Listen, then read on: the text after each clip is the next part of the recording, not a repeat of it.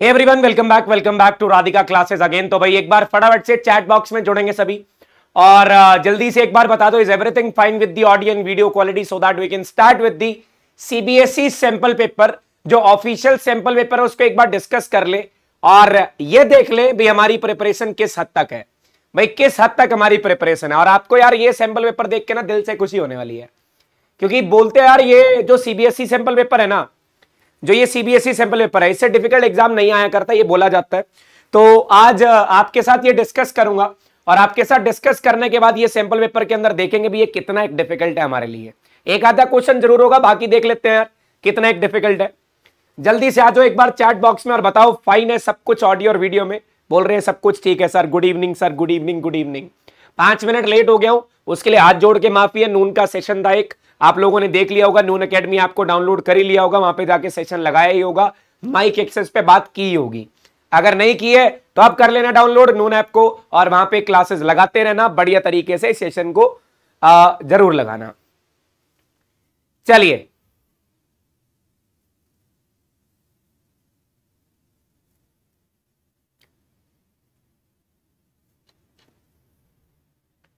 good evening good evening good evening जल्दी से एक मिनट के लिए वेट करेंगे ताकि बच्चे ज्वाइन कर लें, क्योंकि हम भी लेट है ना। अगर हम लेट है तो हम दूसरों का वेट कर लेंगे। अगर हम टाइम पे तो हम किसी का वेट नहीं करेंगे। ये अपना ही स्वैग है हमारा, है ना? चलिए। जल्दी से एक बार सेशन लाइक कर दो। नहीं तो आ रहा हूँ तुम्हारे घर पे तुम्हारे फ़ोन से लाइक करने के लिए। जैसे ऑफलाइन वाले बच्चों के अगर वहाँ पे लाइक करते हो ना, वो इतने इतने वो है बच्चे। भाई वीडियो लाइक नहीं करते, उनका फ़ोन पहले वीडियो लाइक कर तू मेरी। ऐसे कैसे नहीं करता है? पचास साठ लाइक तो मैं वहीं से ले जाता हूँ। पचास साठ लाइक तो मैं वहीं से ले जाता हूँ। नया सैंपल पेपर हार्ड है, पहले पुराना तो कर ले भाई।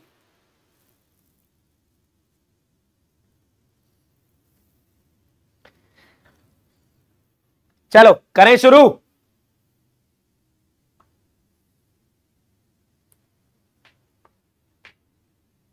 आओ फिर, जल्दी से एक बार व्यूवर्स जुड़ चुके हैं। पहले क्वेश्चन और भाई मैं फिर बता रहा हूँ। ये सैंपल पेपर मैं नहीं सॉल्व कर रहा। ये सैंपल पेपर आप सॉल्व कराओगे और आप मुझे बताओगे भी इनका आंसर क्या है। मुझे पता है तुम लोग हो तो बहुत तेज पहले से ही सैंपल पेपर करके बैठे होगे। ठीक है? पहला क्वेश्चन क्या था? In a pure semiconductor crystal of silicon if antimony is added then uh, what type of extrinsic semiconductor is obtained?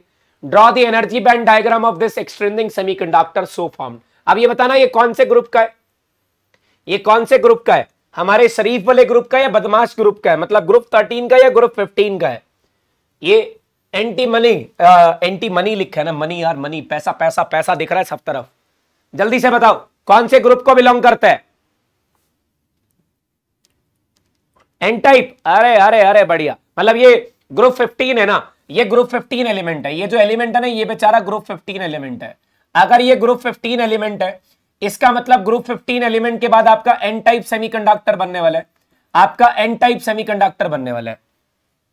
ठीक है? सीधा सीधा सा लिखोगे एन टाइप सेमीकंडक्टर बनने वाला है, और अगर एन टाइप सेमीकंडक्टर बनने वाला है तो बताओ उसका एनर्जी बैंड डायग्राम कैसा बनेगा। तो आपको ये पता होगा, ये डोनर टाइप इंप्योरिटी है। ये कौन सी इंप्योरिटी है? ये डोनर टाइप इंप्योरिटी है। This is a donor type impurity और अगर ये डोनर टाइप इंप्योरिटी है तो इस डोनर टाइप इंप्योरिटी में जो हमारा एनर्जी बैंड डायग्राम बनता है, वो कैसे बनता है? सबको पता है, नीचे वाला वैलेंस बैंड नीचे वाला वैलेंस बैंड और ऊपर वाला कंडक्शन बैंड इसके अंदर कुछ इलेक्ट्रॉन्स होंगे। इसके अंदर, ये तो सेमीकंडक्टर है ना, इसके अंदर बहुत सारे इलेक्ट्रॉन्स होंगे, कुछ खाली होल्स होंगे और यहाँ पे कुछ एक इलेक्ट्रॉन्स होंगे। इसका डोनर एनर्जी लेवल कहाँ लाई करता है? डोनर एनर्जी लेवल कहाँ लाई करता है? एनर्जी बैंड डायग्राम का डोनर डोनर एनर्जी लेवल, क्योंकि ये डोनर टाइप इंप्योरिटी है। डोनर टाइप इंप्योरिटी मतलब मेरी तरह मतलब तुम्हारी तरह दानवीर है। जैसे तुम लाइक दान करते हो ना मेरे को ये उधर बीख में लाइक क्यों मांग रहा है? ये भाई अला बीख देने वाला इलेक्ट्रॉन है।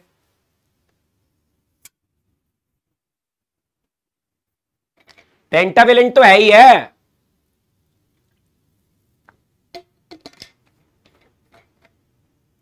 Donor conduction band below the conduction band बहुत बढ़िया क्योंकि डोनर टाइप इंप्योरिटी जो होती है ना ये लूजली बाउंड होती है ये लूजली बाउंड होती है it required compared to the electron in the valence band. So the donor energy level, so the donor energy level lie just below the conduction band. Donor energy level lie below the conduction band. Donor energy level lie below the conduction band ये donor energy level कहाँ lie करता है conduction band के नीचे yes याद होना चाहिए। अच्छा फिर एक एक्स्ट्रा क्वेश्चन इसके अंदर पूछ लेता हूँ। ये बता दो असेप्टर एनर्जी लेवल कहाँ होता है? Acceptor energy level where is the acceptor energy level इस केस में असेप्टर एनर्जी लेवल कहाँ होगा? अगर मुझे असेप्टर एनर्जी लेवल बनाना है तो असेप्टर एनर्जी लेवल कहाँ पे होगा? Where is the acceptor energy level near to the valence band अब अब टू दी बैंड कह सकते हो ना? वैलेंस बैंड के ऊपर just above the valence band यहाँ पे आपका असेप्टर एनर्जी लेवल होता है। और जब आप ट्राइवेलेंट इंप्योरिटी डालते हो ना, तब असेप्टर एनर्जी लेवल होता है जो ऊपर लाई करता है। ऊपर की तरफ़ लाई करता है। अब अब वैलेंस बैंड बहुत बढ़िया। चलो, अब इसका आंसर इन्होंने क्या लिख के दिया? As given in this statement antimony is added to a pure silicon crystal then a n-type semiconductor would be so obtained since antimony is a pentavalent impurity, एक नंबर इसका यहाँ तक मिल जाएगा। और अगर इन्होंने energy level diagram of n type semiconductor बनाया तो इन्होंने बताया डोनर एनर्जी लेवल इसके थोड़ा सा नीचे लाई करेगा। इन्होंने सिर्फ़ बना के रख दिया, आप थोड़ा सा एक्सप्लेन भी कर देना। आप इसको थोड़ा सा एक्सप्लेन भी कर देना, और देखो रेटेज कैसे डिवाइड हो रही है। एक नंबर यहाँ पे मिल गया, एक नंबर डायग्राम का। एक नंबर डायग्राम का दो नंबर मिल गए। और इनके बीच के गैप को क्या बोला जाता है? एनर्जी गैप इनके बीच के गैप को क्या बोला जाता है? Energy gap. ये हमें आंसर मिल गया। ये हमें आंसर मिल गया। ठीक है? तो बात क्लियर है? क्या अच्छे से क्लियर है ये बात? बढ़िया से कैसे लिखना था हमने? चलिए अगले क्वेश्चन पे चलेंगे। Will move to the next question will move to the next question we have to to sorry internal choice in this question we have internal choice in this question consider two different hydrogen atom. The electron in each atom is in excited state. Is it possible for the electron to have different energy but same orbital angular momentum according to Bohr hydro uh, Bohr model? Justify your answer. Question difficult नहीं है.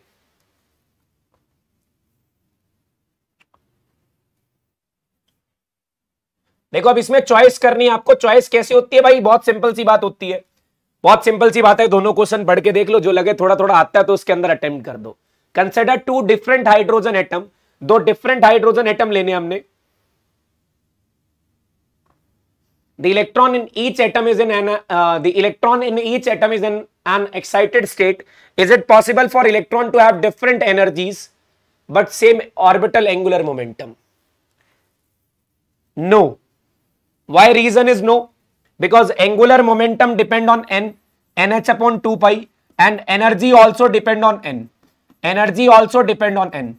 If uh, the energy is different that means orbit is different that means orbit is different and if orbit is different the angular momentum is different if orbit is different angular momentum is different angular momentum is different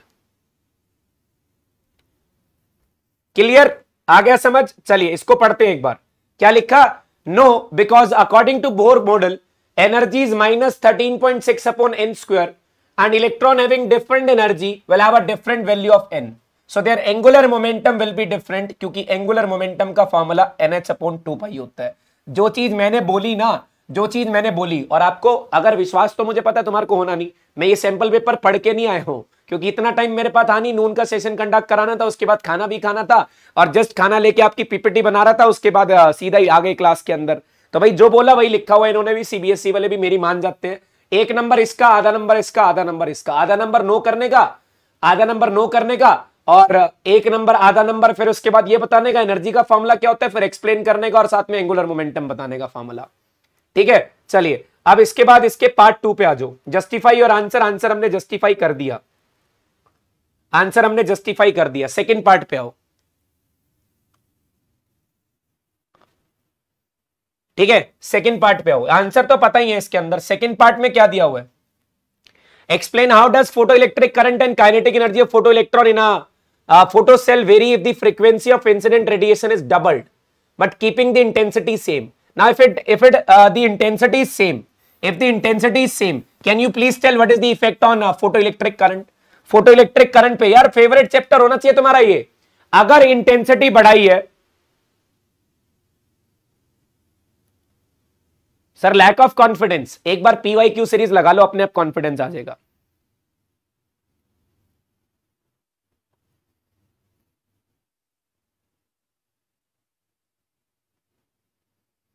कल के timings भी बता देंगे, गुरुदेव बता देंगे। हाँ first part का answer क्या होगा? Photoelectric current is same photoelectric current is same because it is independent of frequency because it is independent of frequency because it is independent of frequency वो फ्रीक्वेंसी के इंडिपेंडेंट है।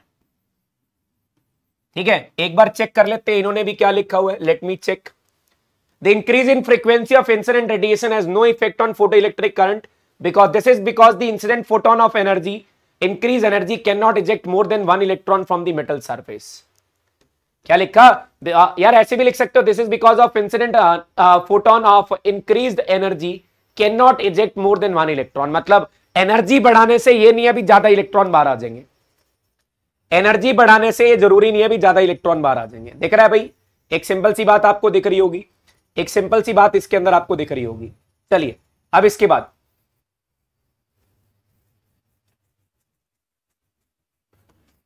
क्या second part भी था क्या इसका? अच्छा इसके अंदर है काइनेटिक एनर्जी ये है सेकंड पार्ट काइनेटिक एनर्जी पे क्या फ़र्क पड़ेगा? हाँ भाई फ्रीक्वेंसी बढ़ाने से काइनेटिक एनर्जी बढ़ेगी या कम होगी? फ्रीक्वेंसी बढ़ाने से काइनेटिक एनर्जी बढ़ेगी या कम होगी? काइनेटिक एनर्जी क्या होगी? अच्छा ग्राफिकल रिप्रेजेंटेशन भी करना है। अगर आपको ये रिप्रेजेंटेशन करना हो, भाई, फ्रीक्वेंसी के चेंज होने से करंट कैसे चेंज होगा? तो ये इंडिपेंडेंट है graph will be like this. ये कोई चेंज नहीं होगा। जितना कांस्टेंट करंट है, उतना ही आता रहेगा। फ्रीक्वेंसी के चेंज होने से ये चेंज नहीं होगा। So the graph will be parallel to the frequency axis increase होगा, बहुत बढ़िया। और एक बात बताना जरा, एक बात बताना, ये तो सबको पता है सेकेंड पार्ट में सेकेंड पार्ट में frequency increase sorry kinetic energy increase होगी। काइनेटिक एनर्जी इंक्रीज होगी। अगर मुझे ये फ्रीक्वेंसी और काइनेटिक एनर्जी का ग्राफ बनाना है तो ये बताओ, क्या ये काइनेटिक एनर्जी डायरेक्टली ऑरिजिन से शुरू कर दूँ क्या? क्या डायरेक्टली ऑरिजिन से शुरू कर दूँ? Can I start this graph from origin क्या ये ग्राफ ऑरिजिन से शुरू कर दूँ? स्टेट लाइन ऑरिजिन से शुरू करूँ क्या? स्टेट लाइन ऑरिजिन से शुरू करूँ।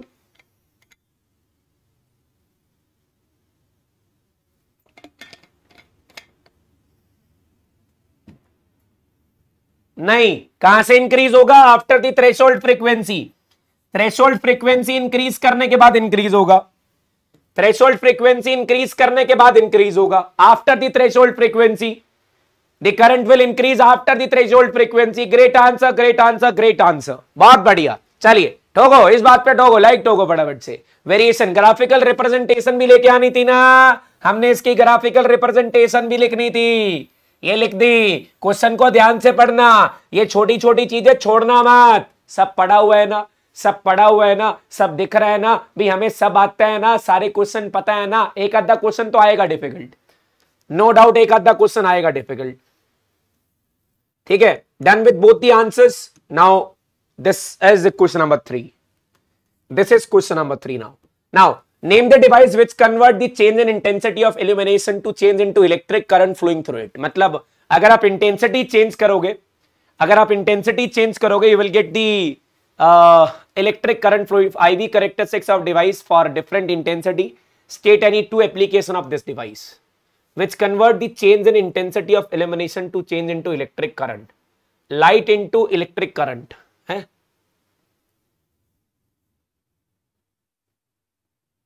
सर, फ़र्स्ट ग्राफ गलत है। भाई, सही है। सही है, जनाब, सही है। बिल्कुल सही है। टेंशन ना ले। बिल्कुल सही ग्राफ है। टेंशन लेने की ज़रूरत नहीं है। अच्छा ये बता रहे हो भी वो थ्रेशोल्ड फ्रीक्वेंसी के बाद इंक्रीज होगा। अच्छा ये यहाँ से। Okay okay okay. ये ऑरिजिन से मीट कर दिया गया सॉरी सॉरी सॉरी ये ऑरिजिन से मीट नहीं होगा यार। ये ऑरिजिन से मीट नहीं होगा। ये थ्रेशोल्ड फ्रीक्वेंसी के बाद करंट आएगा। मान गई तुम्हारी। ये थ्रेशोल्ड फ्रीक्वेंसी के बाद करंट आएगा। This current is after threshold frequency solar cell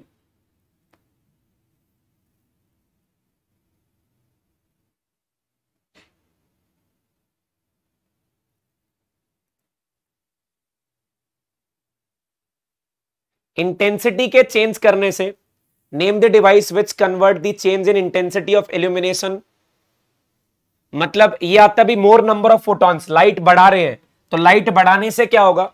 light के बढ़ने से क्या होगा? Electric to change in electric current flowing through it photodiode right photodiode solar cell नहीं है यार। सोलर सेल तो लाइट एनर्जी को इलेक्ट्रिकल एनर्जी में कन्वर्ट करता है और इन्होंने तो बोला सिर्फ़ इंटेंसिटी चेंज करनी है। सिर्फ़ इंटेंसिटी चेंज करने को प्रिडिक्ट करना है। अगर मान लो थोड़ी सी इंटेंसिटी चेंज हो रही है तो उसको प्रिडिक्ट कौन करता है? हाँ इंटेंसिटी चेंज हो रही है। क्वेश्चन को ध्यान से पढ़ो। Which convert the change in illumination of light into electric current अगर वहाँ पे वहाँ पे तो एक फिक्स इंटेंसिटी की लाइट आ रही है। उसको तो हमें कन्वर्ट करना है। यहाँ पे ये आ रहा भी चेंज इन इंटेंसिटी को यहाँ पे किसमें कन्वर्ट कर रहा है? वो इलेक्ट्रिक करंट में कन्वर्ट कर रहा है। Answer is photodiode the answer is photodiode बाकी हमारे पास आंसर है चेक कर लेंगे। एक बार तो फ़ोटो डायोड लिख लेते हैं। जहाँ तक मेरे को लग रहा है फ़ोटो डायोड है। I hope the answer should be photodiode अच्छा इसका ग्राफ कैसे बनता है? अच्छा फ़ोटो डायोड की फॉरवर्ड बाइसिंग करते हो या रिवर्स बाइसिंग फ़ोटो डायोड की फॉरवर्ड बाइसिंग करते हो या रिवर्स बाइसिंग फ़ोटो डायोड की फॉरवर्ड बाइसिंग होगी या reverse biasing chat box LED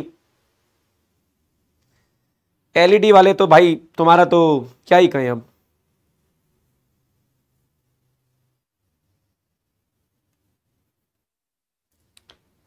हाँ फोटोडायोड की हमेशा की क्या की जाती है? रिवर्स बाइसिंग और इसमें यह बोला जाता है जैसे जैसे आप इंटेंसिटी बढ़ाओगे ना, इसका रिवर्स करंट इंक्रीज हो जाएगा। इसका रिवर्स करंट इंक्रीज हो जाएगा। We have for I one we have for I two we have for I three we have for I four I four is greater than I three I three is greater than I two I three is greater than I two and I two is greater than I one so let me check the answer now this is V I character this is V I character sticks हमेशा reverse biasing होती है। हमेशा reverse biasing होती है। एक बार like ज़रूर कर देना वीडियो को। ये फ़ोटो डायोड ये। Photodiode are use to detect optical signal of different intensity by changing current flowing through it by changing current flowing through it when intensity of light changes there is a change in the current there is a change in the current and if there is a change in the current it will be easily detectable it will be easily detectable हाँ तो ये dark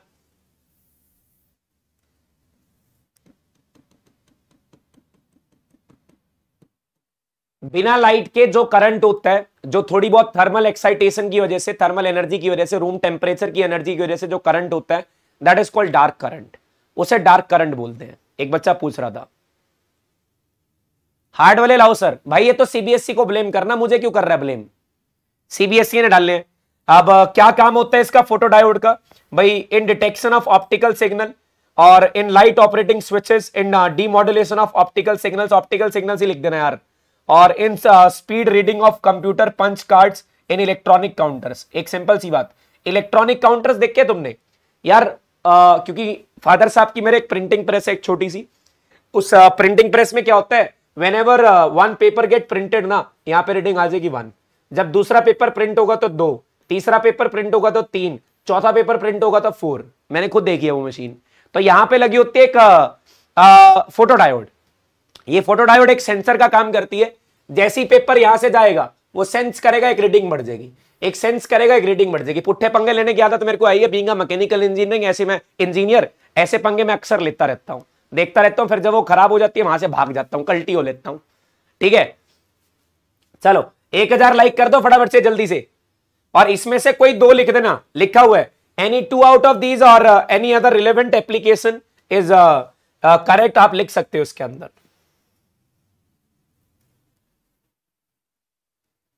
दिमाग खराब करने वाले questions please है ही नहीं कोई।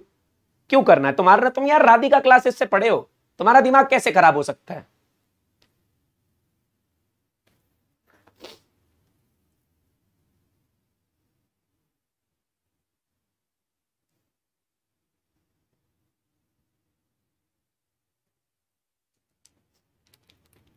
Why photodiode is prefer in reverse bias क्योंकि वहाँ पे माइनॉरिटी चार्ज कैरियर्स इंक्रीज होते हैं ना। और माइनॉरिटी चार्ज के इंक्रीज होने से वहाँ पे रिवर्स करंट इजीली डिटेक्ट हो जाता है। वहाँ पे माइनॉरिटी चार्ज का जो करंट है वो इजीली डिटेक्ट हो जाता है, क्योंकि वहाँ पे फ्रैक्शनल इंक्रीज ज़्यादा होता है। चलिए। हाँ ये, भाई, अब ये बोलते हैं एनसीआर सॉरी ये डिफ़िकल्ट क्वेश्चन था। और ये एनसीआरटी भी तो है। ये एनसीआरटी क्वेश्चन है, तगड़ा है तो एनसीआरटी क्वेश्चन है। आज एक बच्चे ने मुझे इंस्टाग्राम पे क्वेश्चन डीएम करा एंड आई वाज लाइक आज ही कराऊँगा। आज ही कराऊँगा और एनसीआरटी क्वेश्चन है एनसीआरटी क्वेश्चन में कराऊँगा। सीबीएसई सैंपल पेपर में भी है। सीबीएसई सैंपल पेपर में भी है। चलो अच्छा क्वेश्चन है, बहुत तगड़ा क्वेश्चन है, कुछ ज़्यादा इसके अंदर सोचने की ज़रूरत नहीं है। Derive an expression for the frequency of incident radiation या radiation emitted when hydrogen atom de-excited from energy level n to n minus one मतलब वो एन से एन यार, ये तो साफ़ पता चल रहा है ना क्वेश्चन में देख के भी स्पेक्ट्रल सीरीज़ का क्वेश्चन है। भाई स्पेक्ट्रल सीरीज़ वाले से फ्रीक्वेंसी निकालनी है। स्पेक्ट्रल सीरीज़ वाले से फ्रीक्वेंसी निकालनी है। काइंड ऑफ़ अ डेरिवेशन है काइंड ऑफ़ अ डेरिवेशन है। नहीं तो आप uh, ये ये फॉर्मूला यूज़ कर सकते हो। V bar is equal to one by r into n और one upon n one square minus one upon n two square ये तो कितना एक डिफ़िकल्ट फॉर्मूला है। ये स्पेक्ट्रल सीरीज़ में हमने पढ़ा था।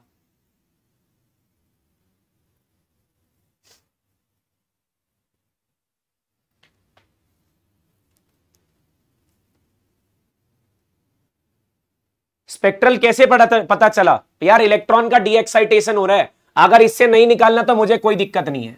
अगर इससे नहीं निकालना तो मुझे कोई दिक्कत नहीं है। एनर्जी वाले फॉर्मुले से निकाल लो। एनर्जी वाला फॉर्मूला क्या होता है? Minus two pi square, m k square z square, e power four upon n square h square. इससे भी निकाल लो। तो बात तो एक ही आएगी ना। इसके अंदर कॉमन क्या आएगा? इसके अंदर कॉमन क्या आएगा? Minus two pi square, m k square, z square, e power four. Z अच्छा हाइड्रोजन एटम है तो हाइड्रोजन के लिए जेड तो वन कर दो। हाइड्रोजन के लिए जेड तो वन कर दो। तो ई पावर फोर अपोन में एच स्क्वायर और भाई, कहाँ से वापस आ रहा है? कहाँ से वापस आ रहा है? अच्छा माइनस कॉमन ले लिया मैंने। माइनस कॉमन नहीं लिया। माइनस कॉमन ले लिया e two minus e one कर रहा हूँ। फाइनल एनर्जी लेवल कितना है? एन से एन एन माइनस वन तक वापस आ रहा है। एन से एन माइनस वन तक वापस आ रहा है। E two minus e one करना है। और इसका फाइनल लेवल कौन सा एन माइनस वन वाला। इनिशियल लेवल कौन सा एन वाला। तो एन वाले की एनर्जी पॉजिटिव हो जाएगी और एन माइनस वाले की नेगेटिव भाई देखो सिंपल सी बात करता हूँ। ये हमारे पास ये टर्म बनेगी। अब मैंने क्या लिखा? Why am taking initial as positive तुम्हें ये पता है ना e two minus e one is equal to h mu होता है। E two minus e one is equal to h mu इसको मैं एच म्यू के बराबर कर देता हूँ। इसको एच म्यू के बराबर कर देता हूँ। किस किस को ये फॉर्मूला पता है? That e two minus e one is equal to h mu और ई टू होता है फाइनल लेवल अगर फाइनल लेवल को डायरेक्टली यहाँ पे पुट करता हूँ the energy will be negative final level कौन सा? एन माइनस वाला। एन माइनस वन वाला। फाइनल लेवल कौन सा? एन माइनस वन वाला। तो एन माइनस वन वाला पीछे आएगा नेगेटिव में। और इनिशियल लेवल कौन सा? एन वाला तो इनिशियल लेवल आगे आएगा। तो इनिशियल लेवल आगे आएगा। जल्दी से बताओ। क्या ये ये पता लग गया? भाई, इसके अंदर डाउट क्लियर है तो आगे चलेंगे।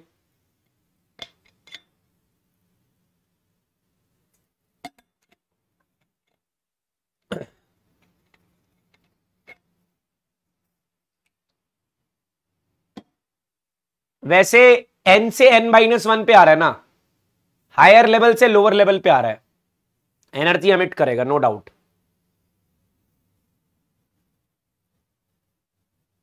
कुछ गड़बड़ है यार, कुछ गड़बड़ है। वेट करो एक मिनट एक मिनट वेट करो। एक मिनट एक एक मिनट के लिए वेट करोगे, एक मिनट के लिए। इसमें गड़बड़ है कुछ, मैं गलत लिख रहा हूँ। एक मिनट वेट करो। मैं कुछ गलत लिख रहा हूँ, एक मिनट के लिए। ये हायर वाला ई e टू होता है लोअर वाला ई e वन होता है, और e two minus e one h mu के बराबर। ये हमारे पास सबको पता है। ये हमने फ्रीक्वेंसी कंडीशन में पढ़ा भाई, माफ़ कर देना, दो मिनट के लिए कुछ गलती होगी हो तो। माफ़ कर देना, गलती होगी हो तो एक मिनट के लिए माफ़ कर देना। ठीक है? भाई e two higher level e two होता है, और लोअर लेवल ई वन होता है, सब जानते हैं। जब इलेक्ट्रॉन यहाँ से ट्रांजिशन करता है तो ये फोटोन की फॉर्म में एनर्जी निकालता है। तो ये फोटोन की फॉर्म में एनर्जी निकालता है। सब जानते हो e two minus e one is equal to h mu e two minus e one is equal to h mu सब जानते हो ना? भाई ई टू का मतलब हायर लेवल हायर लेवल के लिए जो हमारा एन टू होता है वो एन के बराबर. और लोअर लेवल के लिए एन वन की वैल्यू एन माइनस वन के बराबर.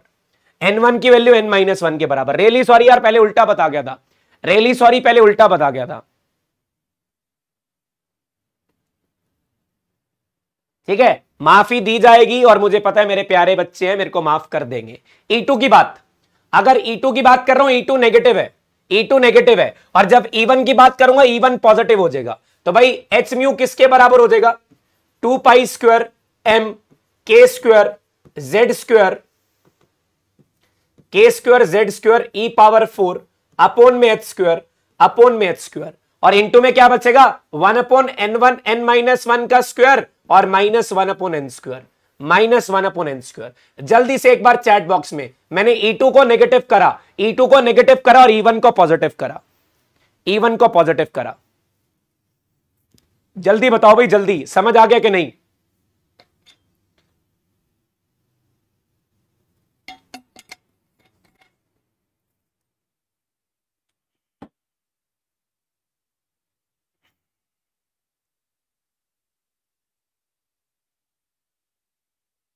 सर, माइनस कहाँ गया? जनाब, अगर इसके आगे माइनस लगा दोगे तो माइनस माइनस प्लस हो जाएगा ई e वन वाला प्लस हो गया ई e टू वाला नेगेटिव हो गया। ओ भाइयों, सुनो ई e टू में एन एन है ना? ई टू के लिए एन की वैल्यू एन है तो एन वाला नेगेटिव कर दिया ई टू नेगेटिव है, क्योंकि यहाँ पे नेगेटिव साइन है। ई वन वाला पहले ही नेगेटिव था तो ये नेगेटिव यहाँ पे करूँगा तो प्लस हो जाएगा। बेसिक मैथमेटिक्स है यार बायो वाली हरकतें मत करो। सॉरी बायो वालों, माफ़ कर देना। ठीक है? तो h c by sorry frequency निकालनी है ना तो फ्रीक्वेंसी किसके बराबर हो जाएगी? Two pi square m k square z square e power four upon h cube e power four upon h cube how e two negative हे भगवान एनर्जी में नेगेटिव होता है। यार, तुम्हें फॉर्मूला नहीं बताया क्या किसी ने? तुम्हें फॉर्मूला नहीं बताया क्या किसी ने?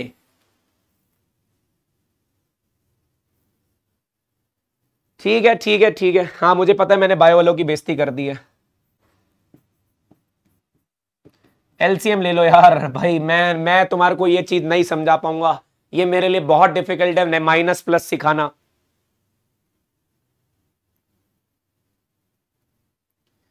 माइनस प्लस सिखाना बहुत डिफ़िकल्ट है। अब एलसीएम लेना कहोगे सर, ये एलसीएम कैसे आया? इसको करते हैं मल्टीप्लाई मल्टीप्लाई का मतलब एक साथ जोड़ के रख देंगे, जोड़ा बना देंगे इनका। और ये इधर मल्टीप्लाई। ये n square minus n minus one का होल स्क्वायर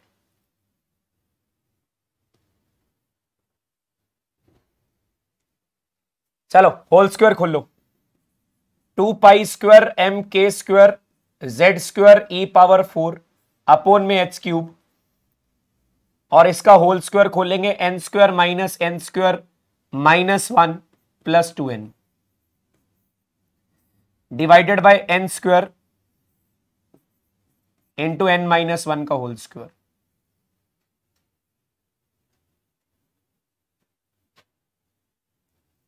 क्लास मॉर्निंग में कंटिन्यू करना हमें नींद आ रही है।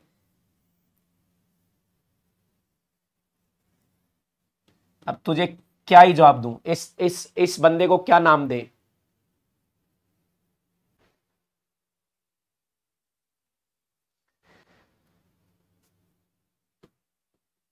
Two pi square m k square e power four upon h cube into में two n minus one upon में एन स्क्वायर इंटू में एन माइनस वन का होल स्क्वायर अब यार इन्होंने क्या बोला हुआ है? Also show that for the larger value of n अगर एन बहुत बड़ा है, अगर एन बहुत बड़ा है तो इसकी फ्रीक्वेंसी क्लासिकल फ्रीक्वेंसी के बराबर आ जाएगी। इसकी फ्रीक्वेंसी क्लासिकल फ्रीक्वेंसी के बराबर आ जाएगी। ओए, एक बात सुन लो, जो ये रो रहे हैं ना 13.6 वाला फॉर्मूला यूज़ कर लो। पहले तो ये पिटेंगे। क्योंकि हमें इसको प्रूफ करना ये क्लासिकल फ्रीक्वेंसी के बराबर है। फिर कैसे करोगे प्रूफ फिर कहाँ से लाओगे प्रूफ फिर विशाल सर की याद आएगी, सर, ऐसे ही कर लो।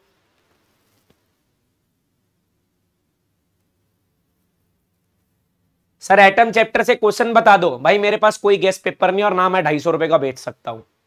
ठीक है? कोई गेस्ट पेपर किसी के पास नहीं होता जितना पढ़ सकते हो पढ़ लो। ज़िंदगी में यही मांगते रह जाओगे भाई आ, एक बात बताइयो जरा मेरी ना नौकरी लग रही है। तू बता दे यार नौकरी करूँ कि ना करूँ? ऐसा कोई गैस बता दे जिससे जल्दी नौकरी लग जाए।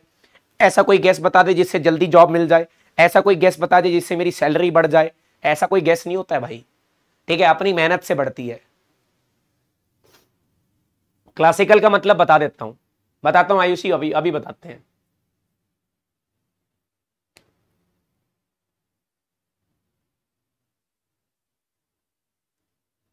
यार तुम, तुम्हारा दिमाग खराब है क्या? थोड़ा सा ये बताओ। अगर ऐसे पता लगने जाते भी guess guess paper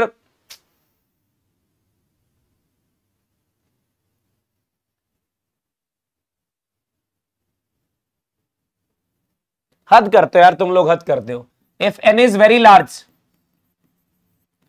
if n is very large ठीक है? अगर एन वेरी लार्ज है तो टू एन माइनस वन ये टू एन के बराबर हो जाएगा। सर, ये कैसे? इस वन का तो कोई मतलब ही नहीं रहेगा। जैसे उस गैस पेपर का कोई मतलब नहीं है, इस वन का कोई मतलब नहीं है। इस वन का कोई मतलब नहीं है।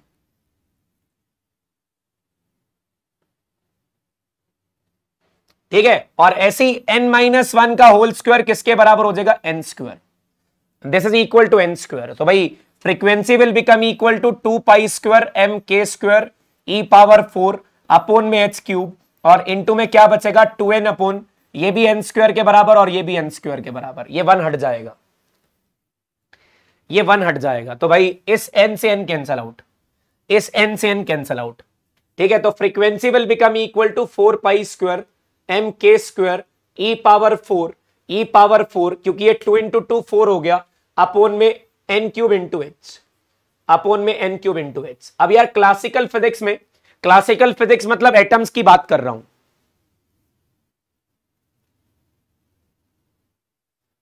एटम्स पढ़ा ना एटम्स एटम्स में फ्रीक्वेंसी निकालनी हो तो one upon time period one upon time period का मतलब टाइम होता है डिस्टेंस अपॉन स्पीड और सर्कुलर पाथ में डिस्टेंस होता है टू पाई आर और स्पीड होती है वी और आपने हर चीज़ का फॉर्मूला पढ़ा है. आपने रेडियस का फॉर्मूला पढ़ा था. N square h square upon four pi square m k z square four pi square m k z square चलो जेड तो हटाई दो. Four pi square m k m k e square और velocity का formula भी पढ़ा था। Velocity का फॉर्मूला था two pi k z e square upon n h two pi k z e square upon n h एक two से two काट दो, एक पाई से पाई काट दो। ऊपर ले जाओ। फ्रीक्वेंसी बिल्कुल एज इट इज़ आ जाएगी। Four pi square m k square z square या जेड तो हटा ही दो। E power four upon n cube h cube अच्छा ये तो एच क्यूब था sorry this is h cube upon n cube h cube लो भाई, ये भी तो वही आ गई थी क्लासिकल फिजिक्स की। हाँ हाँ आ गया एच क्यूब ये क्लासिकल फिजिक्स की फ्रीक्वेंसी भी यही थी। ये प्रूव करना था। ये था तगड़ा क्वेश्चन और मैंने आपको फिर बोला था, ये तगड़ा क्वेश्चन कोई भी डिफ़िकल्ट क्वेश्चन एनसीआरटी का होगा। And this is an NCERT question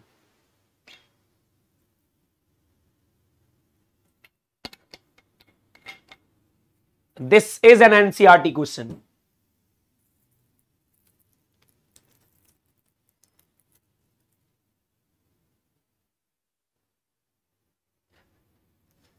This is an NCRT question.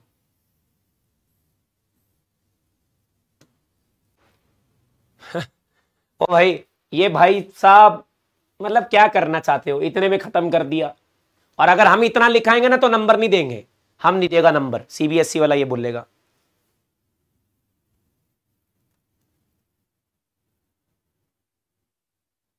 Sir DK में हाफ़ लाइक क्यों आएँगे यार? वो सिलेबस में ही नहीं है तो क्यों आएँगे?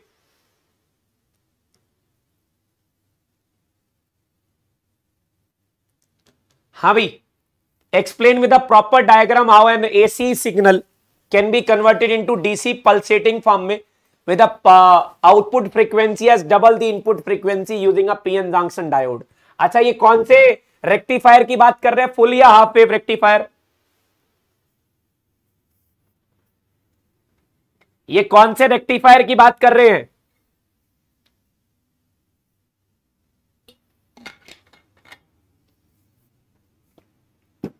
ये कौन से रेक्टिफायर की बात कर रहे हैं?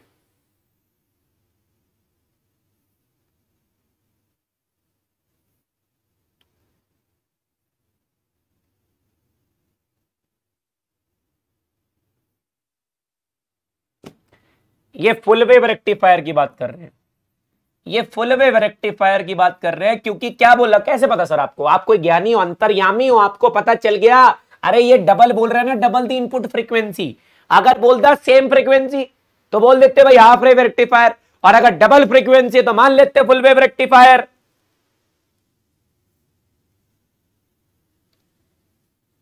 तो मान लेते फुल वेव रेक्टिफायर तो ऐसे एक बनेगा इनपुट फिर बनेगा प्राइमरी वाइंडिंग्स फिर बनेगी सेकेंडरी वाइंडिंग्स और फिर आएँगी दो डायोड पहली डायोड और फिर दूसरी डायोड ये दोनों डायोड के बाद लगेगा एक resistance with the help of central tap T और पल्सेटिंग फॉर्म में चाहिए तो there is no use of a filter circuit there is no use of a filter circuit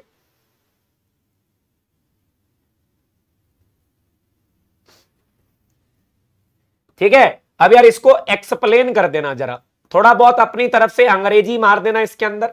थोड़ी अंग्रेज़ी लिख देना। फालतू फालतू को लिख के आओ यार। मतलब इतना भी फालतू ना लिखना।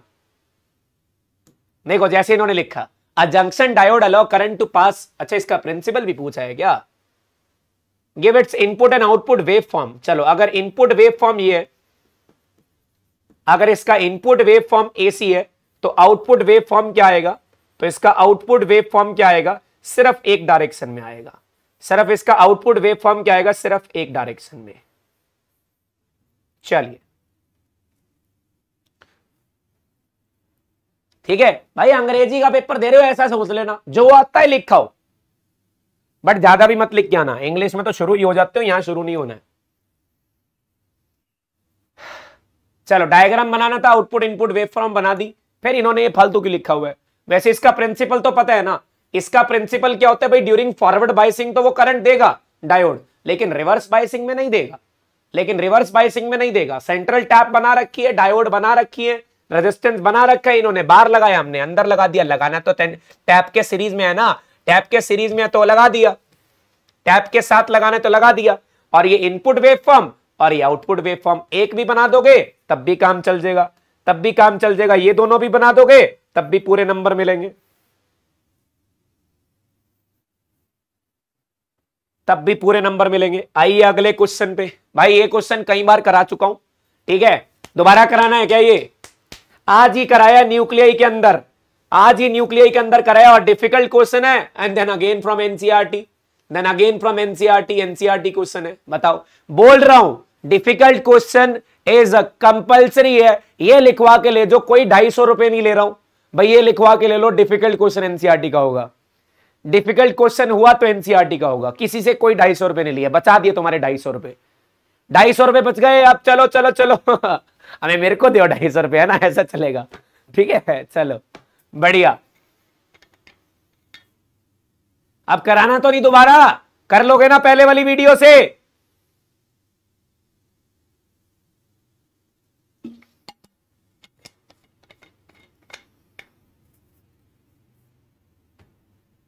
मतलब यार, बोलते हुए भी नहीं आती गेस्ट पेपर मिलेगा। यार, सबको पता है, यार, इतनी किताबें आई हुई हैं, ये देखो, मैं दिखाता हूँ तुम्हारे को।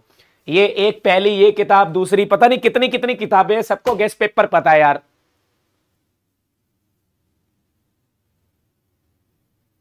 ये क्वेश्चन तो भाई करा चुका हूँ। इसको जाके वहाँ देखो, ये तुम्हारी पनिशमेंट है, क्योंकि तुमने पीवाई क्यूज नहीं देखे तो मैं ये क्वेश्चन दोबारा नहीं करा रहा। मैं ये क्वेश्चन दोबारा नहीं करा रहा। ठीक है? चलो, आओ फिर। अच्छा ये तो सोल्यूशन आ गया। सर, हम तो रट के चले जाएँगे। और बट ये जो सीबीएसई e ना, बड़ी मतलब ऐसे एक यहाँ पे मैं बोल नहीं सकता, बेकार चीज़ है ये। ये हमेशा क्वेश्चन पलट देती है।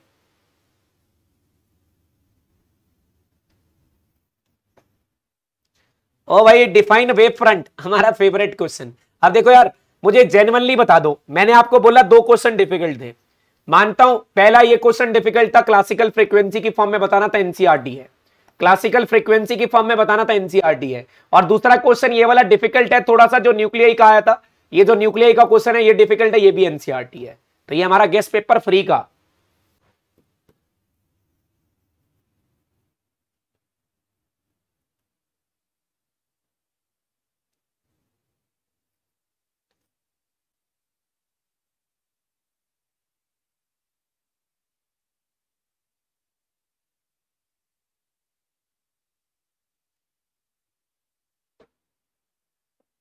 जो चीज़ गलत है तो भाई उस गलत को हम सपोर्ट नहीं करेंगे। I am not roasting anyone या कोई मैं किसी को गलत बोल रहा हूँ। जो चीज़ गलत है, उस चीज़ को गलत बोल रहा हूँ। भाई, तुम लोग कब समझोगे यार? छोटे बच्चे छोटे बच्चे हो क्या? या छोटी बच्ची हो क्या? बारहवीं पार होने वाली है तो मतलब तुम इंडिपेंडेंट होने वाले हो, अठारह साल के होने वाले हो, सरकार को सिलेक्ट करने वाले हो, और कमाल करते हो यार तुम लोग। मतलब क्या यार उसका? कोई मतलब तो होना चाहिए। पीवाई क्यूज लगाओ एनसीआरटी लगाओ। That is our guest paper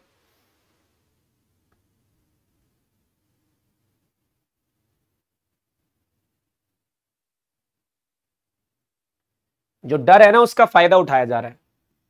चला हाँ भाई, कुछ बच्चे तो ले ही लेंगे, डर में जिन्होंने नहीं पढ़ा होगा। मैं भी निकाल रहा हूँ। कल मेरा सैंपल पेपर आ रहा है। कोस्ट है पच्चीस सौ रुपए। रुपीज़ पच्चीस सौ रुपए। बस दो ने ले लिया, मेरा तो यार, पूरे दिन की कमाई होगी। बस और क्या है? और ये बोल दूँगा यही पेपर आएगा। यही वाला आने वाला है पेपर टाइटल ही तो डालना है हमने। इतने सब्सक्राइबर पर जो हम भी ले रहे हैं, अभी दो बच्चे तो खरीद ही लेंगे।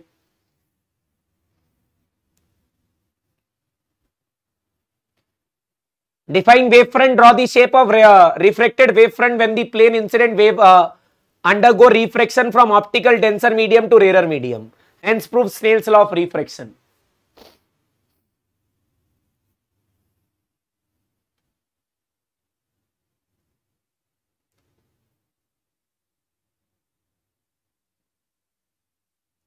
भाई, सबको पता है ना वेव फ्रंट क्या होता है? Define wave front it is continuous locus of all the particles which are vibrating in same phase continuous locus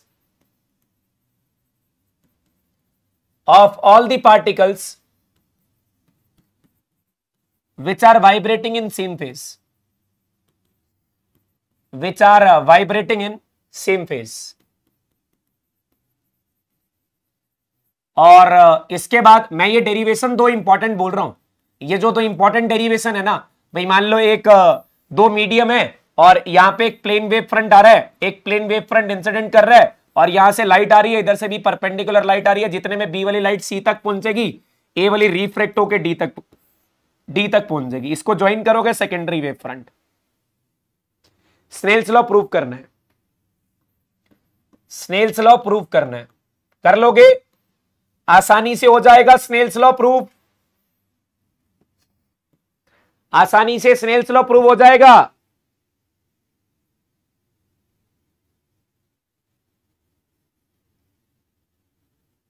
nuclei सुबह हो चुका है। अगर नहीं देखना सेशन तो हम कुछ नहीं कर सकते ना, तुम अपना हमने सेशन तो देखना नहीं न्यूक्लियाई करा दो। कैसे करा दो फिर?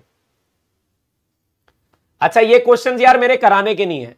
Draw ray diagram for a compound microscope for the final image at least distance of distinct vision अब देखो, इस क्वेश्चन में क्या है? इस क्वेश्चन में मैंने ये वाला क्वेश्चन सॉल्व करवा रखा है। कुछ बच्चे बोल रहे थे, सर, यहाँ पे बहुत प्यारे प्यारे से बच्चे जो बोल रहे थे, सर, इसको ना लीज डिस्टेंस वाले के लिए भी करा देना। तो करा देते हैं। डेंसर टू रेलर है। अच्छा कोई बात नहीं डेंसर टू रेलर है तो away from the normal bending कर देना। ओ sorry sorry sorry this is from denser to rarer away from the normal bending करके इनको ज्वाइन कर लेना। रियली सॉरी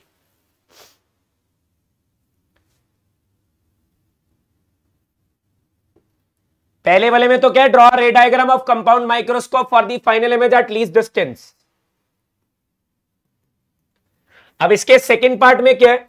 इसकी मैग्निफिकेशन बतानी है एंगुलर अब देखो, ऊपर वाले पार्ट में दे रखा है लीज डिस्टेंस ऊपर वाले पार्ट में अगर लीज डिस्टेंस दे रखे है, यहाँ भी गिवन है when final image is formed at least distance तो भाई इसके अंदर क्या फॉर्मूला यूज़ करना है? Total magnification is 30 total magnification is 30 focal length of objective is 1.25 centimetre focal length of eyepiece eyepiece की फोकल लेंथ कितनी है? फाइव सेंटीमीटर और क्या करना है? How will you set up a compound microscope tube length निकालनी है. When final image is formed at least distance that is a v o plus u e v o plus u e निकालना है। V o plus u e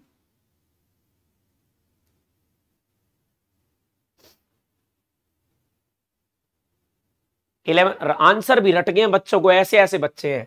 magnification का formula v o upon u one plus D upon f e तो यहाँ से अगर देखा जाए तो ये थर्टी दे रखा था। This is v o upon u और यहाँ से वन प्लस डी डी की वैल्यू ट्वेंटी फाइव और एफ़ की वैल्यू सॉरी डी की वैल्यू ट्वेंटी फाइव और एफ़ की value five so this will be six sorry five हो जाएगा टोटल सिक्स हो जाएगा thirty is equal to v o plus u divided by into में six So this will get cancel out. VO by UO is equal to 5. So VO is equal to 5 times of UO.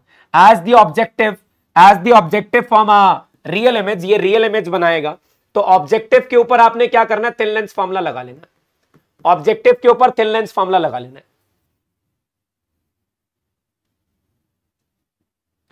Shubham Shubham की super chat of rupees twenty thank you for your time who is this Aman Sharma. मेरे को ही कह रहा था ना यार, किसी और को कह रहा है। One by v minus one by u is equal to one by f one by v not minus या plus one by u not is equal to one by f क्योंकि ऑब्जेक्ट डिस्टेंस इसका negative होगा image distance positive होगा। And v not is five times of u not v not is five times of u not ठीक है? और one by five common one by u o sorry one by u o common और six by five बचेगा। और इधर focal length को 1.25 put करूँगा तो ये 100 बाय वन ट्वेंटी फाइव होगा। ये कैंसल आउट हो गया। U o will become equal to six by four this is 1.25 sorry 1.5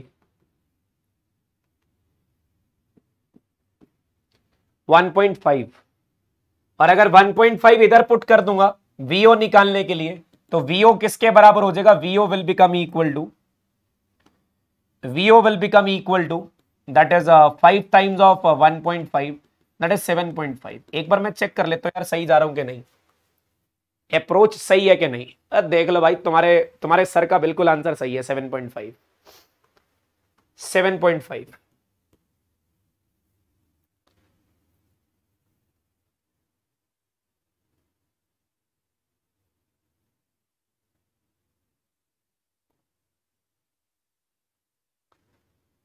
D को हमेशा 25 ले सकते हैं, अगर कुछ गिवन नहीं है।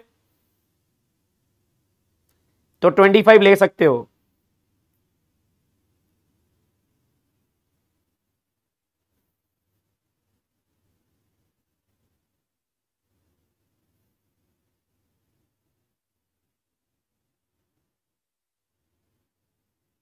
और कल के सेशंस के लिए रेडी रहना। कोई एक्सक्यूज नहीं चाहिए तुम्हारा।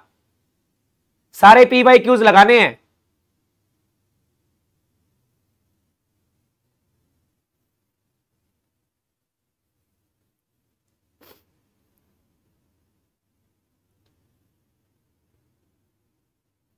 कितने बजे? टाइम बता देंगे यार। अमन की super chat of rupees forty you are the best sir thank you thank you तेरी सुपर चैट से ज़्यादा तेरी तारीफ़ हमें पसंद है। चलो यार यू ही निकाल लेना। आई पीस के ऊपर लगा के। आई पीस के ऊपर फॉर्मूला लगा के ना यू ही निकाल लेना। और वो फॉर्मूला क्या होगा? One by v minus one by u, या तो आपको सिंपल पता होगा, यार लगा लो, सीधा ही लगा लो। Is equal to one by f e या one by f image distance minus D के बराबर, क्योंकि पीछे की तरफ़ बनती है। और ऑब्जेक्ट डिस्टेंस उसका यूई के बराबर, और फोकल लेंथ उसकी फाइव तो minus one by twenty five plus one by u is equal to one by five ठीक है? तो one by u is equal to LCM आ जाएगा इसका ट्वेंटी फाइव और ये फाइव प्लस वन तो यू इज़ इक्वल टू पच्चीस by छ पच्चीस बाय छ का मतलब फोर पॉइंट कितना? फोर पॉइंट कितना? फोर पॉइंट कितना? One seven four point one seven और ट्यूब लेंथ निकालनी थी? Seven point five seven point five है ना? Seven point five plus four point 7.5 plus uh, 4.17 so this is 11.67 कई बच्चों का ये डाउट आ रहा था? कितने बजे तक क्लास चलेगी? तो क्वेश्चन देख लेते कौन से पे एट्थ क्वेश्चन पे, चार क्वेश्चन और है बस। बारह ही तो क्वेश्चन करने draw ray diagram of astronomical telescope for a final images to form at infinity you can do it yourself you can do it yourself ये तो भाई घोल के पी लो प्रिज्म ऑप्टिकल माइक्रोस्कोप फिर गेस्ट पेपर दे रहा हूँ तुम्हारे को। माइक माइक्रोस्कोप टेलीस्कोप और प्रिज्म में से एक क्वेश्चन एक्सपेक्टेड है। देख रहे हो फ्री में बांट रहे हैं हम तो। फ्री में बांट रहे हैं।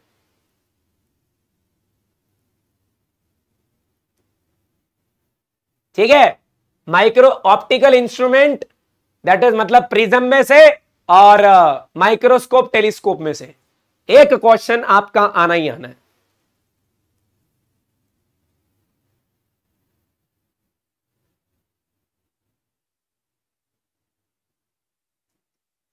चलो the small telescope has objective of focal in 140 centimetre and eyepiece of 15 centimetre find the magnifying power of a telescope for uh, viewing distinct object when final images at the total sorry the total the telescope is in the normal adjustment अच्छा normal adjustment का मतलब होता है the images at infinity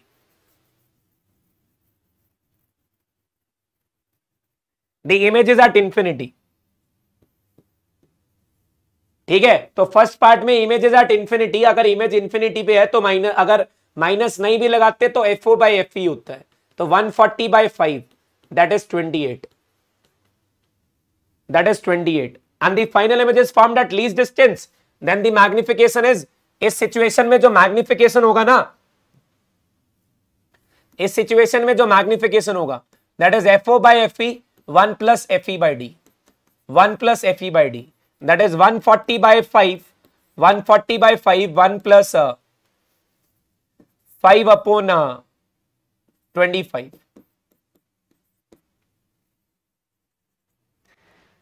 one forty by five into six by five अब तुम्हारे हवाले calculation साथी हो अब तुम्हारे हवाले कैलकुलेशन साथी हो इन्होंने नेगेटिव नहीं लगा रखा तो हमने भी नहीं लगाना। इन्होंने नेगेटिव नहीं लगा रखा तो हमने भी नहीं लगाना।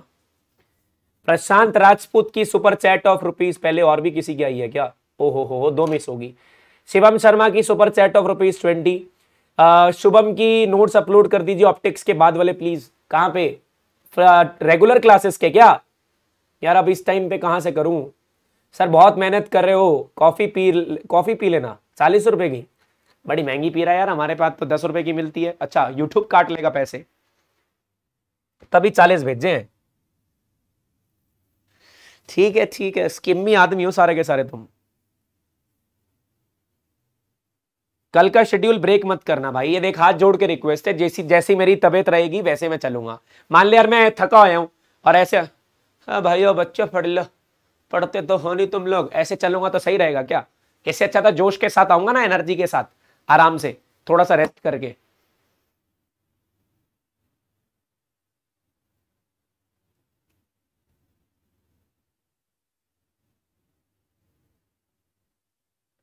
हमारे यहाँ पाँच की मिल जाती है तो तेरे यहाँ आने में खर्चा भी तो लगेगा, पेट्रोल भी तो लगेगा।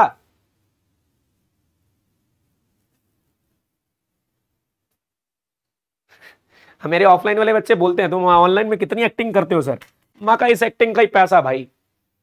इस एक्टिंग के ही सब्सक्राइबर्स हैं। चलो, आओ अगले क्वेश्चन में।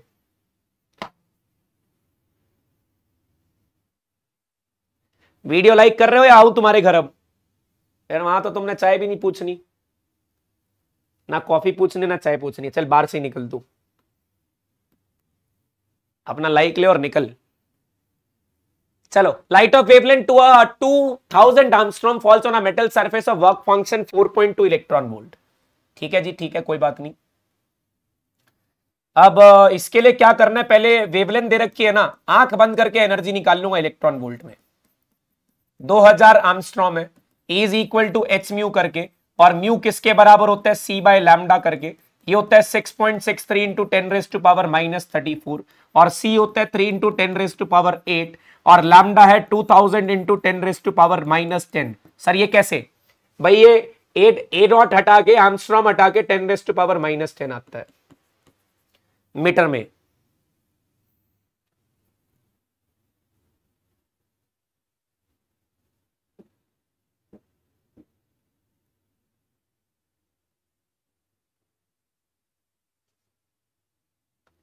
ठीक है? ये तो एनर्जी आई है जूल में। इसको 1.6 point six into ten raise to power minus nineteen से डिवाइड कर देना so the energy is in electron volt so that the energy is in electron volt ताकि एनर्जी इलेक्ट्रॉन वोल्ट में आ जाए।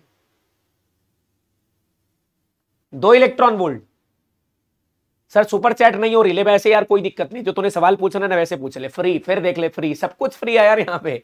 कोई पैसा नहीं लिया जा रहा है। तो किसने कहा तेरे को करने के लिए? भाई, जिसकी चलो, आओ इधर।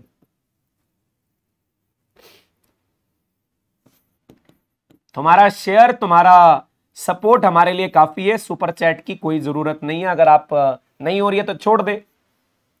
पढ़ाई पे ध्यान दे। सॉरी फाइव बचेगा। देखा, पैसे का लालच, बाबू भैया, पैसा देखते ही ज़ीरो कम काट दी। और ये ten rest power minus twenty nine बचेगा। और नीचे ten rest power minus twenty nine ये तो कैंसल आउट कर लो। सर मेरे से ऑप्टिक्स नहीं हो रही। चल वन शॉट लगा के रखियो, कल तक उसके बाद पीवाई क्यूज लगाइयो मेरे साथ। फिर सब हो जाएगा। सुबह तक सारे वन शॉट लगा के रखना। कैलकुलेटर में कर रहा हूँ, कहीं चले पता चले, कोई फ़ोन कर रहा हूँ या मैसेज कर रहा हूँ किसी को। कैलकुलेट कर रहा हूँ, देख लो कैलकुलेटर है। शक बहुत करते हो एक तो तुम।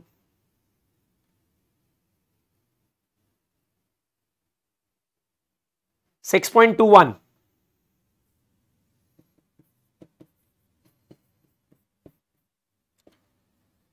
Sir, हमें कौन सा फ़ोन में कैलकुलेटर में, वहाँ पेपर में कैलकुलेटर बनेगा तो मैं कौन सा पेपर दे रहा हूँ? तुम लोग कर रहा कैलकुलेट? सर, आपने वन शॉट में टेलीस्कोप नहीं पढ़ाया? पार्ट टू में देख सब पढ़ाया है।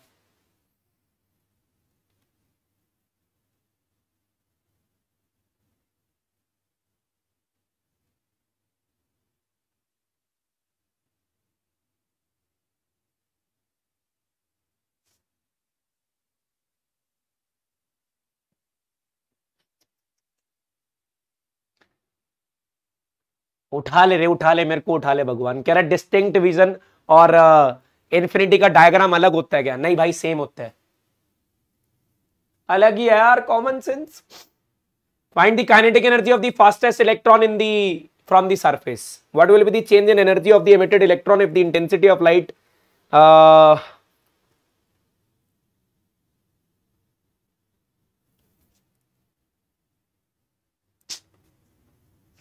यार, तीनों पार्ट इजी है इसके, तीनों पार्ट ए पार्ट क्या बोल रहा है? फटाफट से इधर आ जाओ, बाकी मज़ाक बाद में बहुत मज़ाक कर लिया आज, क्योंकि आज क्वेश्चन कम थे तो मज़ाक ज़्यादा कर लिया. लेकिन चलता है थोड़ा बहुत, यार चिल मार के कल बढ़िया से पढ़ेंगे ना.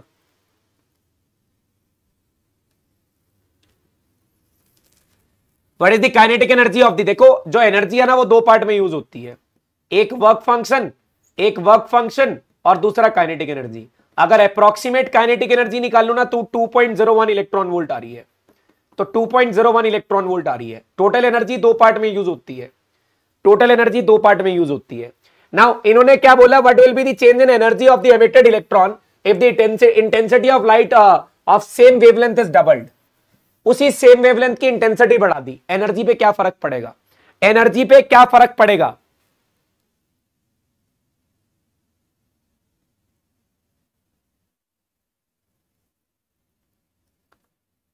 सर वैल्यू गिवन होगी क्या? किसकी वैल्यू गिवन होगी?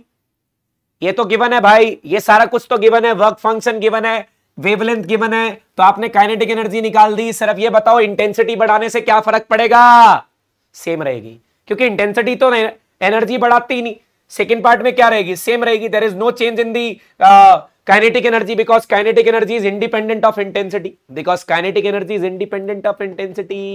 सब जानते हो? तुम्हारे को पता है, अगर वेवलेंथ चेंज ना हुई तो एनर्जी चेंज नहीं होगी। तो एनर्जी चेंज नहीं होगी। इसका पार्ट नंबर सी क्या बोल रहा है? If the same light falls on another surface of work function 6.5 ये क्या ये तो झुकेगा भाई।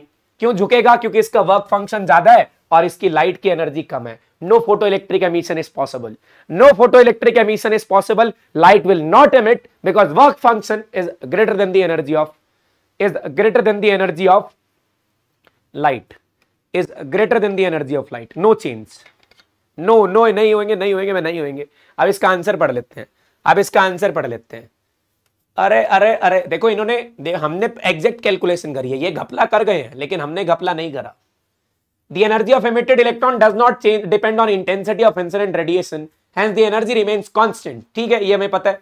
Uh, for this function, as the energy of light is 6.2 is less than the work function, so there is no photoelectron. Uh, fo no photoelectrons are emitted. No photoelectrons are emitted.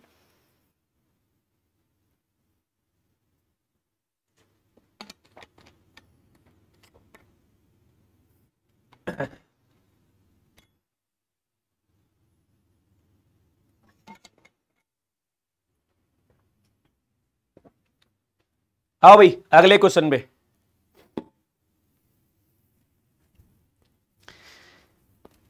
Focal length of a convex lens made up of a glass is 1.5 point five is twenty metre what will be the new focal length when placed in medium of refractive index 1.25 point two five is focal length positive और negative why does what does it signify आसान question है। Air में focal length कितनी है?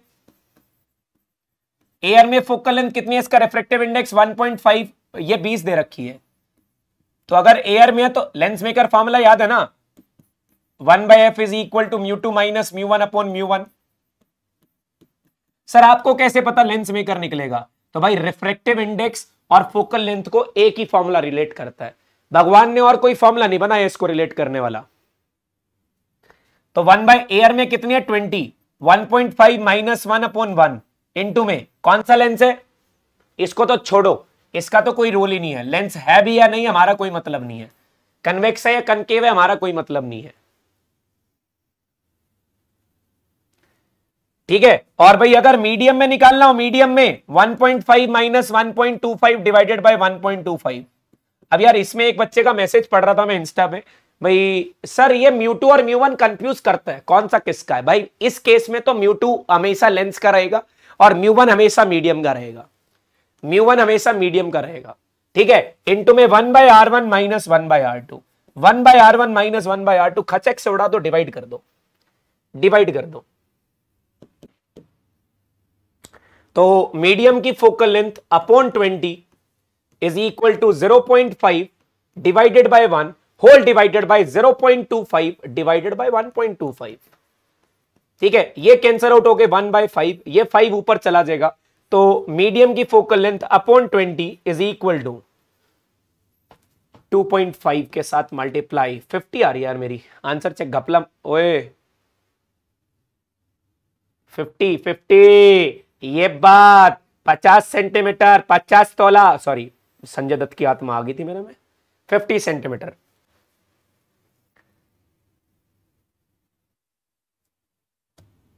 It's 50 centimetre इस focal length positive और negative it is positive और medium में डालने के बाद क्या हो गई? मीडियम में डालने के बाद फोकल लेंथ बढ़ गई। मीडियम में डालने के बाद फोकल लेंथ बढ़ गई। पहले 20 थी 50 हो गई। पहले 20 थी 50 हो गई।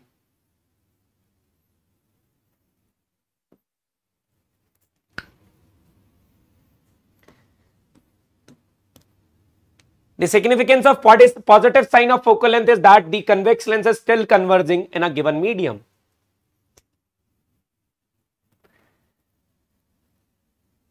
Sir, आज फॉर्म में, सर का गला ठीक होता है तो सर फॉर्म में ही होते हैं। चाहे सर ने आज क्लासेस दो बजे से लेके लगातार अब दस बजे तक दस क्यों? ग्यारह बज गए, साढ़े ग्यारह हो गई है। चाहे लगातार सर क्यों दस बजे क्यों? आज तो बारह बजे से क्लास चल रही है यार, तुम्हारी यूट्यूब पे भी तो क्लास थी। बारह बजे से लेके बारह बजे तक, बारह घंटे से लगातार ए काम चल रहा है। और देख लियो एनर्जी देख रहे हो, एनर्जी। और ये एनर्जी पता है कहाँ आती है? इसका रीजन पता है क्या? नज़र मत लगाना, मैं फिर बता रहा हूँ। इसका रीजन तुम लोग हो। एक बार और एक्सप्लेन कर दो। भाई, इसे बोलते हैं लेंस मेकर फॉर्मूला ये होता है। एयर में दे रखी है ट्वेंटी अगर एयर दे रखी है तो ये म्यू वन वन होगा। और मीडियम में निकालनी है। मीडियम में निकालनी है तो मीडियम का रिफ्लेक्टिव इंडेक्स 1.25 और रेडियस तो चेंज होना नहीं। रेडियस तो चेंज होना नहीं। ठीक है? अगर डिवाइड करूँगा तो ये कैंसल आउट हो जाएगा और फिर इसको डिवाइड करके आंसर निकाल लिया।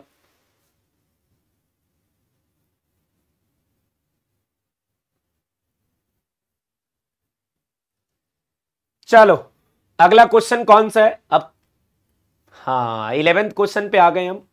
इलेवेंथ क्वेश्चन पे आ गए। Name the EM wave which are suitable for radar navigation in write the range of frequency बोलना जरा। Aircraft radar system of aircraft navigation कौन सी वेव यूज़ होती है? ये तो सब करा रखा है मैंने तुम्हारे को। ये भी एनसीआरटी क्वेश्चन है। एनसीआरटी ये भी एनसीआरटी है। दोनों एनसीआरटी है। शायद ये वाला तो पता नहीं, मुझे ध्यान नहीं है, लेकिन अगले वाले दोनों पार्ट एनसीआरटी है।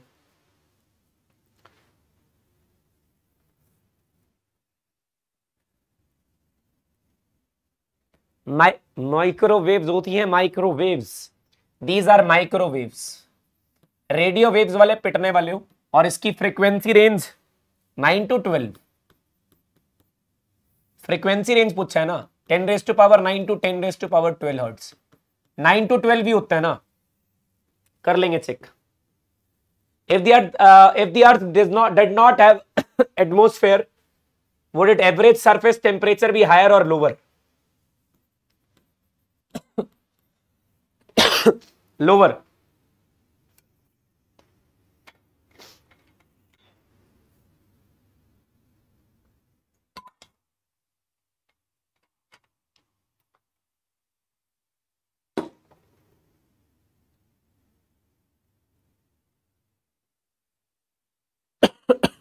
लगाई दी नज़र।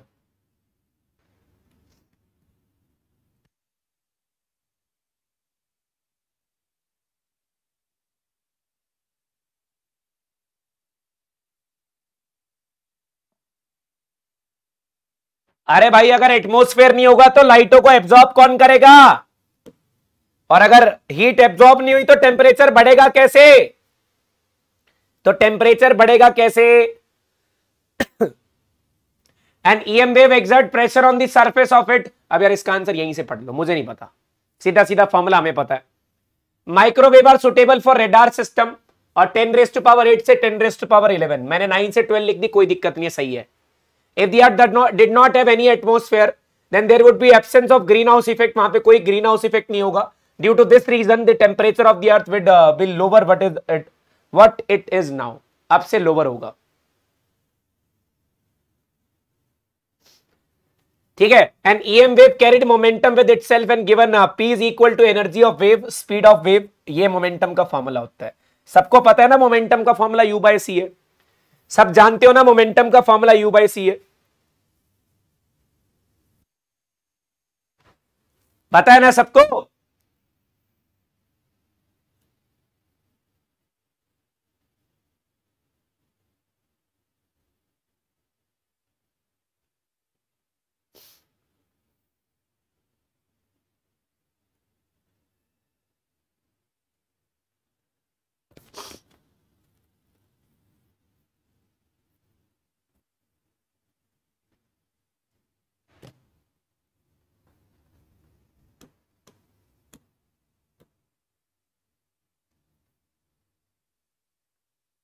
In a, if the slit in young double slit experiment are identical अच्छा आइडेंटिकल स्लिट है the intensity at any point on a screen may vary between zero and four times the intensity due to single slit justify the above statement through are relevant mathematical expression okay great कर देंगे draw intensity distribution of a function of phase angle when diffraction of light take through a coherent illuminated single slit देखो, पहले part का answer तो ये करना है।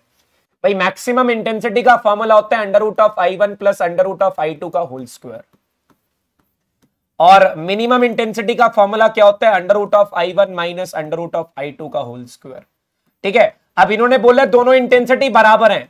आई one I to दोनों आई नॉट के बराबर हैं। If I put I one I two equals to I naught this maximum intensity will become equal to root I naught plus root I naught का whole square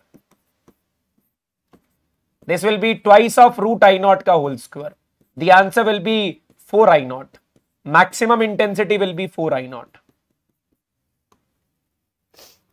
और minimum intensity के लिए put करेंगे दोनों को बराबर the answer will be zero that means the intensity vary between zero and four times the intensity of any light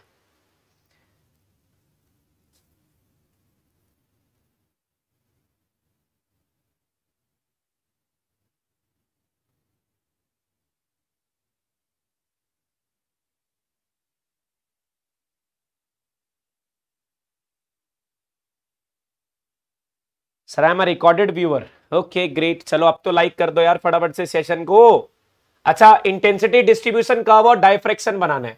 और आपको पता होगा डायफ्रेक्शन की intensity keep on decreasing with the increasing value of N keep on decreasing with the increasing value of N पहला maxima के minima कितने angle पे? Lambda by ए पे। एंगल के साथ वेरिएशन बनाना है। और पहला मैक्सिमा कितने एंगल पे? Three by two lambda by A पे। और फिर मिनिमा कितने पे हो गया? टू लैमडा बाय ए पे। ये ऐसे कीप ऑन चलता रहेगा आगे।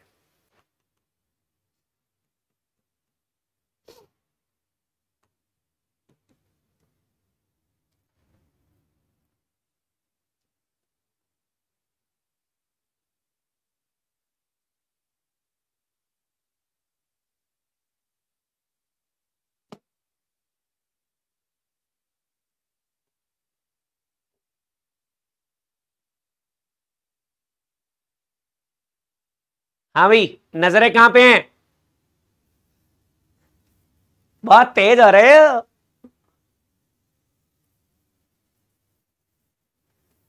देखो, सबको पता है ना, मिराज फॉर्मेशन है। आगे आ जाओ, नहीं तो भटक जाओगे। तुम्हारी नज़रें, ये टीआईआर करती हुई क्वेश्चन पे आओ।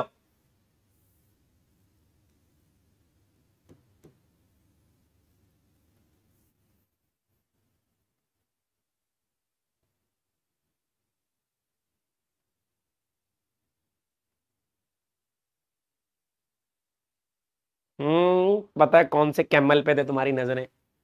Which of the following phenomena is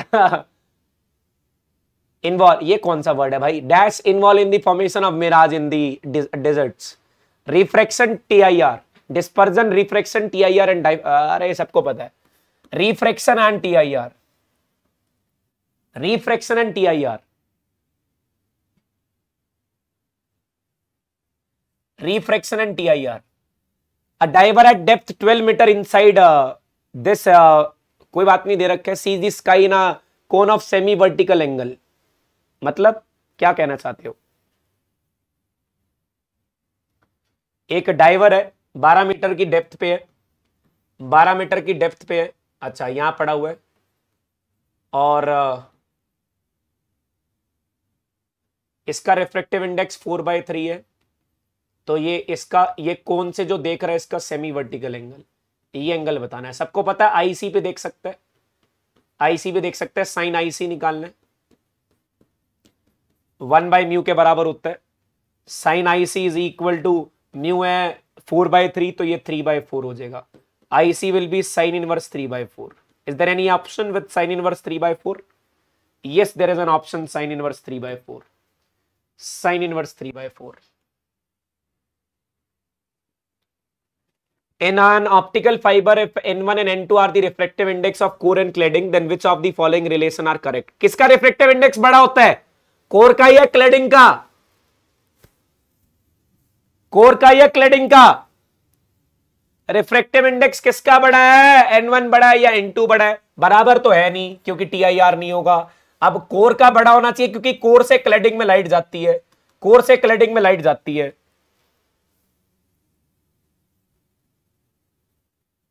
graph के ऊपर वीडियो ऑलरेडी चैनल पे है।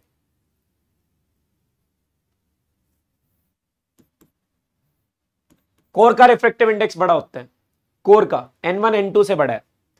A diamond is emerging such a with which has a index with respect to air as greater than the refractive index of water with respect to air then the critical angle of diamond interference as compare to the critical angle of diamond water interference क्या कहना चाहते हैं? थोड़ी अंग्रेज़ी में समझते हैं।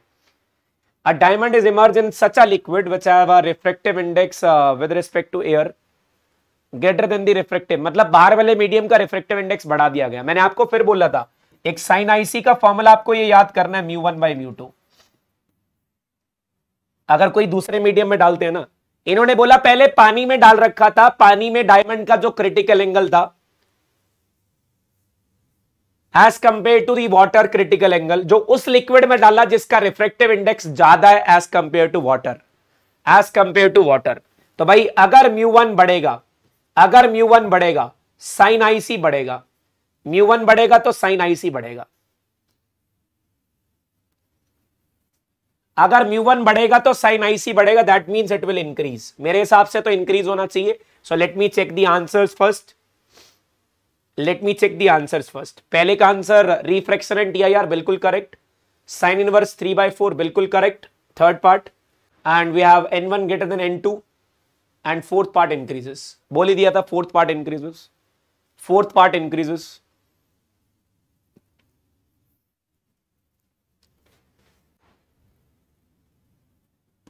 अब अगले पार्ट में क्या लिखा हुआ है? कैलकुलेशन तो अगले क्वेश्चन की देख के बड़े भयानक सी लग रही है।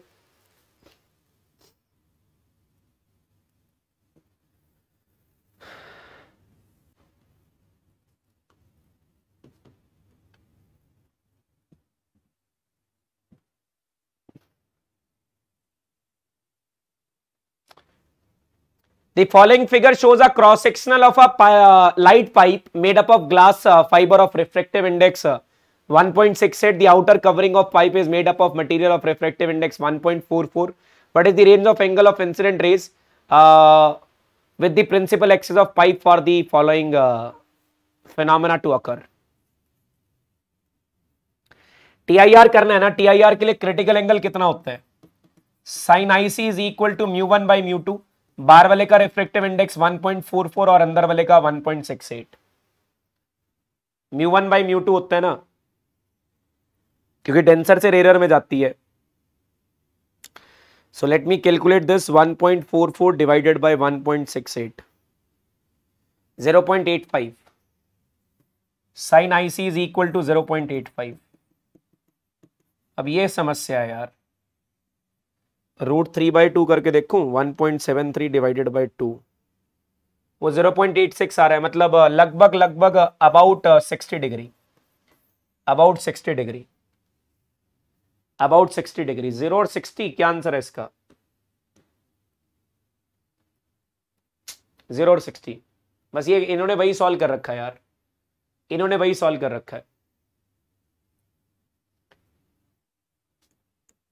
ज़ीरो और सिक्सटी के बीच में।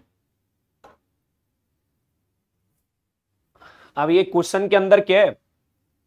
अगर ये सिक्सटी है तो ये थर्टी होगा। इस डायग्राम को ध्यान से सुनना। सुनना नहीं, देखना, सॉरी। ये एंगल सिक्सटी चाहिए तो ये एंगल थर्टी होगा, क्योंकि ये नाइनटी है। और अगर ये थर्टी है तो ये वाला फिर से आगे अप्रोक्सीमेट सिक्सटी हो जाएगा।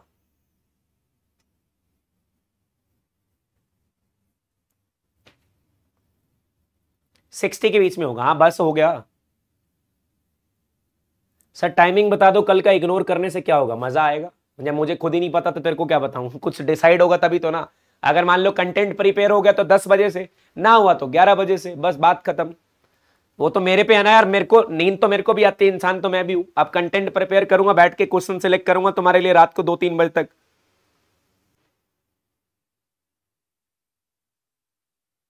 ठीक है? इसका पीडीएफ चाहिए क्या अब? इसका पीडीएफ चाहिए क्या अब? ये भी पीडीएफ चाहिए, तुम्हारे को चाहिए तो होगा, मुझे पता है। पीडीएफ इसका टेलीग्राम पे चाहिए क्या अब? चलो, खत्म हो गया, समाप्त समाप्त समाप्त समाप्त। सर ए आंसर है तो मैंने क्या करा है?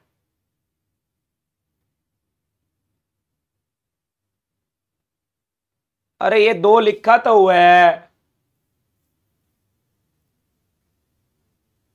तुम लोग सच में कमाल हो यार।